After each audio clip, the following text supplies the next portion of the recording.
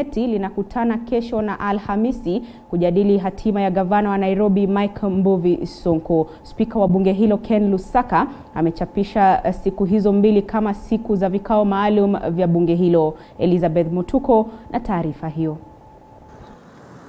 Bunge la Seneti linatarajiwa kuanza kusikiza rasmi kesi ya kubanduliwa mamlakani kwa gavana wa Nairobi Mike Mbuvi Sonko kama ilivyowasilishwa na bunge la kaunti ya Nairobi. Tayari bunge la Seneti limepokea stakabadhi husika kutoka kwa kaunti ya Nairobi sawa na upande wa gavana Sonko.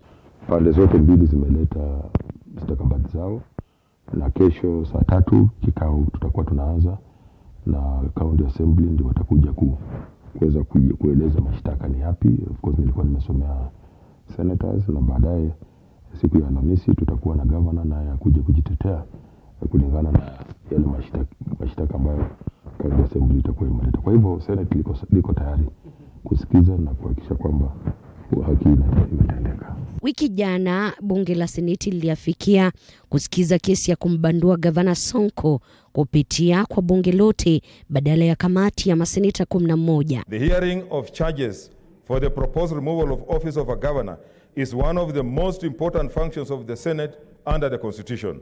I therefore urge that the Senate exercises the highest level of responsibility on this matter. I thank you.